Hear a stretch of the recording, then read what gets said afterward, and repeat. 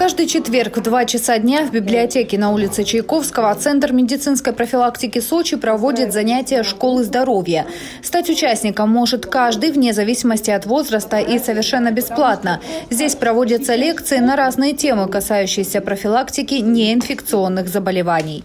Это и психосоматика, это психоэмоциональные нарушения. Есть школа пациентов с сахарным диабетом, есть школа ишемической болезни сердца, э, бронхиальной астмой пациентов.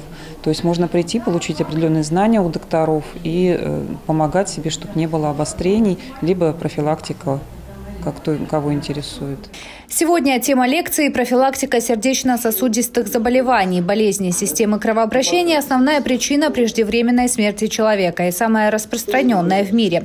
Больше половины инфарктов и инсультов обусловлено гипертонией. При этом, как показывает статистика, болезни сердца можно предотвратить, занимаясь первичной профилактикой. Это недорого и несложно, говорит главный кардиолог Сочи. Главное знать, как правильно выполнять рекомендации. Их немного, основных принципов профилактики 10. Самое первое – это контроль артериального давления. Это основной фактор сердечно-сосудистого риска. В России э, больше 40% гипертоников старше 25 лет.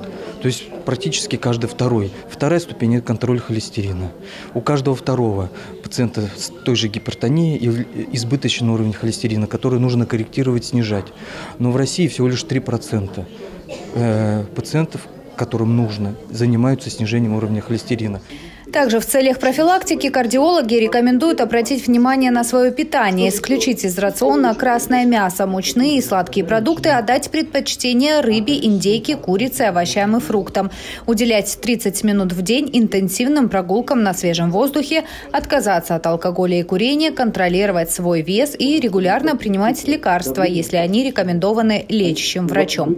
Отмечу, что в Сочи количество людей, страдающих сердечно-сосудистыми заболеваниями, выше выше, чем в среднем по Краснодарскому краю. Татьяна Говоркова, Алексей Давыдов, телекомпания «ФКТ».